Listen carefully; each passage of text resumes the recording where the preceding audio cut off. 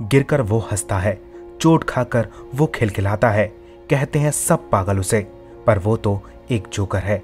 ये दुनिया ना जाने कि अंदर वो जोकर कितना रोता है। इन्हीं लाइनों में सुदेश लहरी की पूरी ज़िंदगी समाई हुई है।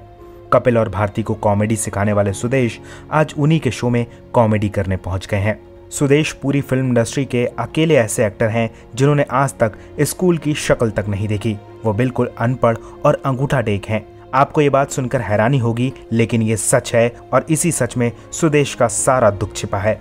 सुदेश ने गरीबी का वो दौर देखा है, जिसे सुनकर आपका दिल फट जाएगा। सुदेश बहुत गरीब परिवार से आते हैं। सुदेश बताते हैं कि उनके पिता के पास इतने पैसे नहीं थे कि उन्हें स्कूल भेज पाए। घर में खाने को दाना नहीं था, इसलिए उन्हें चाय की दुकान पर लगा दिया गया।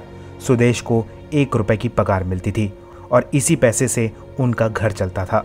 सुदेश बताते हैं कि वो नमक के पानी में रोटियाँ डुबाकर खाया करते थे। सुदेश पंजाब में स्टेज शो कर जैसे तैसे अपना गुजारा करते थे। एक बार एक संस्था ने उन्हें सम्मानित करने को बुलाया।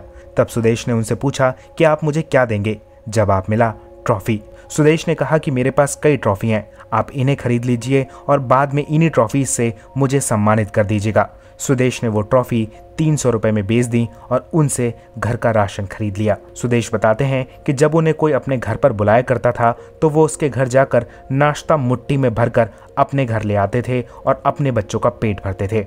सुदेश कहते हैं कि 35 साल की उम्र तक तो शायद उन्होंने कभी भरपेट खाना भी नहीं खाया। वो भूख मार कर ही रातों को सो जाया करते थे। लेकिन सुदेश की मेहनत का नतीजा देखिए कि आज उन्होंने कपिल शर्मा, कृष्णा अभिषेक और भारती जैसे बड़े कॉमेडियन फ़िल्म इंडस्ट्री को दे दिए। कभी गरीबी में जीने वाले सुदेश के पास आज मुंबई और पंजाब सहित कई शहरों में करोड़ों रुपए की प्रॉपर्टी है। सुदेश की इस कामयाबी को हमारा सलाम। आपको कैसी लगी सुदेश की ये कहानी? हमें कमेंट में बताइए और भी ज़्यादा ऐसी अपडेट्स के लिए हमारे चैनल को सब्सक्राइब कीजिए।